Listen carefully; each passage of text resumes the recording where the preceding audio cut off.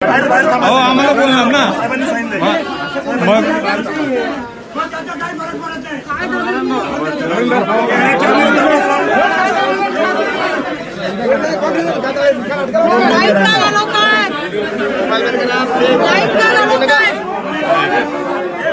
अहो आम्हाला बोलणार ना मग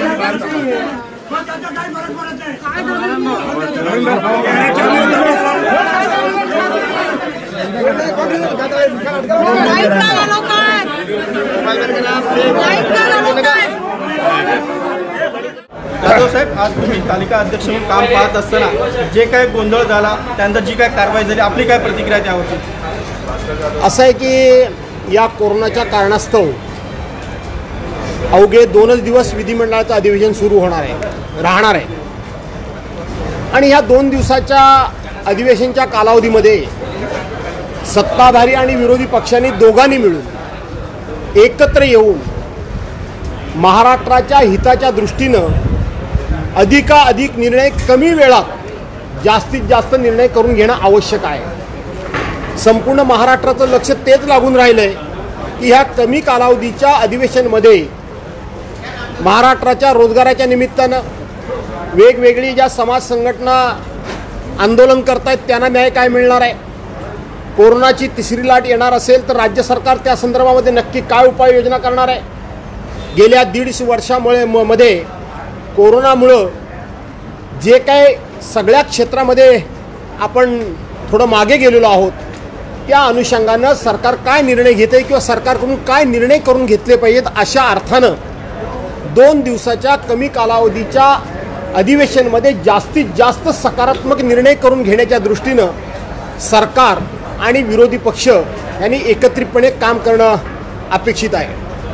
आणि त्यांच्याकडून ते काम करून घेणं हे जे कोणी सभाध्यक्ष असतात त्या सभाध्यक्षांनी ते करून घेतलं पाहिजे.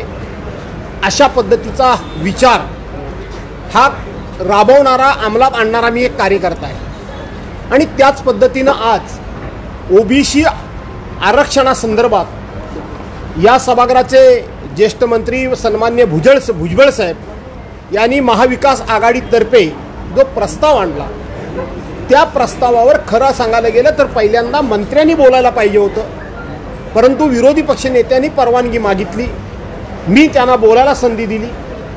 पूर्ण वेळ त्यांचं बोलणं होईपर्यंत कुठेही मी त्यांचं बोलणं थांबवलं नाही. आणि नंतर मग मंत्री महोदयांनी आपले विचार मांडले. स्वाभाविक आहे सगळ्यांचा हेतू जर एकच आहे तर प्रस्ताव एक मतानं हा केंद्र सरकारकडे पाठवण्यामध्ये अडचण काहीच असता असता कामा नये यापूर्वीचे देखील प्रस्ताव हे काँग्रेस राष्ट्रवादी सरकारनं आणले त्यावेळेला देखील सभागृहातून एकमतानं गेलेले आहेत. भाजपा सेनेच्या सरकारनं ज्या ज्या वेळेला प्रस्ताव आणले त्याही वेळेला एकमतानं कुठलीही चर्चा न होताना गेलेले आहेत. आजचा प्रस्ताव सुद्धा आणि मी चर्चा करायला अध्यक्षीय नात्यानं संधी दिलेली असताना सुद्धा मंजूर करायला हवा होता. परंतु काही लोकांना ओबीसीला आरक्षण मिळूच द्यायचं नाही आहे ओबीसीचा विषय सभागृहामध्ये आपण म्हणू तोच खरा आहे अशा पद्धतीनं जगलरी करणं आणि कपोलकल्पित आरोप जे बाहेर सभागृहाच्या बाहेर केले जातात तेच आरोप आम्ही सभागृहामध्ये करू आणि ते जनतेनं खरं मानावं अशी ज्यांची अपेक्षा होती त्यांना सन्मान्य भुजबळ साहेबांनी सत्य पुराव्यानिशी आणि खरे उत्तर दिल्यामुळं अस्वस्थ झाले आणि त्या अस्वस्थतेतून हा सगळा सभागृहामध्ये प्रकार घडला. हे मी आपल्याला निदर्शन आणून देऊ इच्छितो.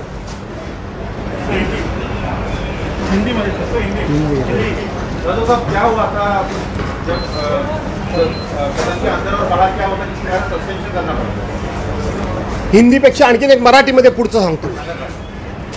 आता हा प्रकार सभागृहातला सभागृहातच थांबवण्याची प्रथा ही आहे. नाराजी व्यक्त करणं ओरडणं गोंधळ घालणं सभागृहाच्या कामकाजात अडथळा आणणं हे नित्याचंच काम सर्वसाधारणपणे असतं. परंतु आज महाराष्ट्राच्या संस्कृतीला संस्काराला परंपरेला आणि महाराष्ट्राच्या एक वैचारिक विचारसरणीला काळीमा लावण्याचं पाप भारतीय जनता पार्टीच्या आमदारांनी केलं. मी सभागृहाचं कामकाज संपवून सभागृह दहा मिनटं स्थगित केलं का? तर काही चुकलं असेल तर विरोधी पक्ष सत्ताधारी पक्ष अध्यक्षांच्या दालनात बसतात आणि काही त्यातून मार्ग काढतात. या उद्देशानं कुणीही न सांगता दहा मिनिटाकरता सभागृह स मी स्थगित केलं कारण मला पण इतक्या वर्षाचा अनुभव आहे. आणि मी नुसता अध्यक्षांच्या केबिनमध्ये आलो तर त्यावेळेला स्वतः विरोधी पक्षनेते देवेंद्र फडणवीस भारतीय जनता पार्टीचे राज्याचे अध्यक्ष चंद्रकांतदादा पाटील आणि त्यांचे सगळे वरिष्ठ म- आमदार आणि नवनिर्वाचित आमदार हे सगळे माझ्या एकट्यावर तुटून पडले. मी वरिष्ठ नेत्यांना सांगत होतो की तुम्ही ह्यांना समजावून सांगा की सभागृहातला विषय हा सभागृहातच संपतो. सभागृहाच्या बाहेर आल्यानंतर तो व्यक्तिगत घ्यायचा नसतो. अशा पद्धतीनं हाणामाऱ्या करायच्या नसतात.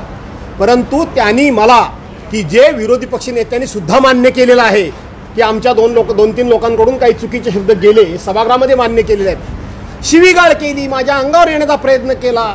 माझ्या आई बहिणीवरनं शिव्या दिल्या.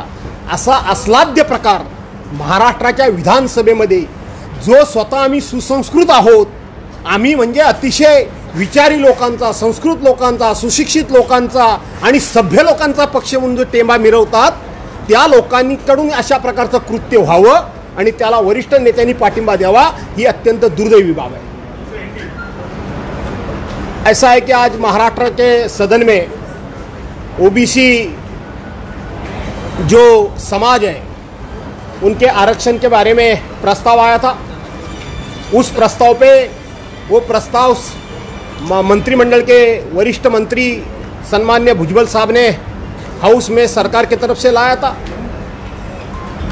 हाउस में जो प्रस्ताव लाता है, वो मंत्री पहले भाषण करता है और बाद में विपक्ष को बोलने के लिए वहाँ चांस दिया जाता है। लेकिन माननीय विरोधी पक्ष नेते देवेंद्र फडणवीस जी का आग्रह था कि मुझे पहला बोलना। आप मुझे संधि दीजिए, चांस दीजिए। तो मैंने उनको पहले बोलने का चांस दिया।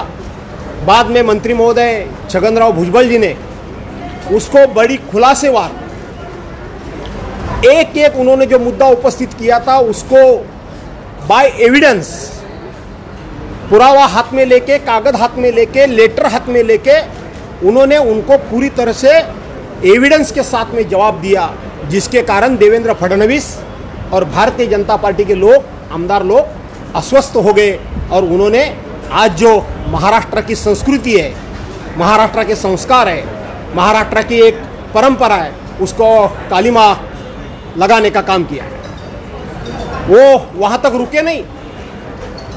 उसके बाद में मैंने 10 मिनट के लिए सभागृह अर्जेंट किया और मैं अध्यक्ष के चेंबर में आया।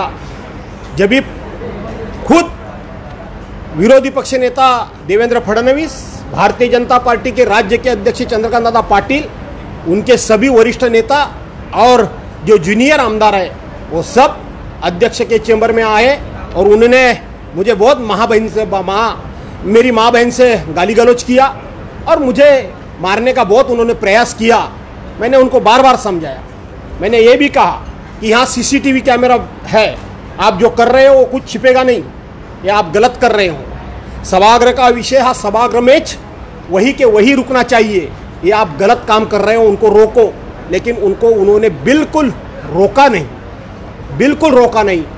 ऐसे ये उन्होंने काम किया। इसीलिए भारतीय जनता पार्टी को बाय रूल बाय कानून 12 आमदारों को सस्पेंड किया गया है। तालिका सभापती म्हणून. तुम्ही- sir, sir, sir, sir, sir, एक प्रश्न सर एक प्रश्न. तालिका सभापती म्हणून तुम्ही हे सगळं बाहेर बोलू शकता का? जी घटना घडली ती तुम्ही समोर आहात त्यामुळे आणखीन वेगळं काय मी मी काय ह्याच्यामध्ये कुठलंही ऑन रेकॉर्ड मी बोललो ह्याच्यापेक्षा सगळं बोललोय. आहे काय विशेष? ऑन रेकॉर्ड बोललोय मी. मी उद्या त्याच्यामधले पाहिजे तर तुम्हाला त्याची बाहेर सर्क्युलर देईन म्हणजे ते कॉपीज काढून देईन. लपून काहीच नाही. जे घडलं ते घडलं. उलट उलट वाटेल ते बेछूटपणे बाहेर बोललं जातं. सभागृहामध्ये फार निराळं बोललं जातं. बाहेर मी सभागृहामध्ये सुद्धा व्यवस्थित बोललो ह्याच्यापेक्षा खरं आणखीन बोललोय बाहेर मी संयम प- प- प- पूर्ण आलो ह्याच्याच्या सभागृहात पण आणखीन छोट्या मोठ्या गोष्टी सांगितल्यात. त्यामुळे बाहेर वेगळं आणि आतमध्ये वेगळं ही माझी परंपरा नाही. जे सत्य ते सत्य. नवनवीन ताज्या घडामोडी पाहण्यासाठी शिवबंधन न्यूज चॅनेलला सबस्क्राईब करा. आणि सर्वात आधी व्हिडिओ पाहण्यासाठी बाजूचं बेल आयकॉन प्रेस करायला विसरू नका. सोबतच लॉग इन करा W W W dot Shivbandhan news dot कॉमला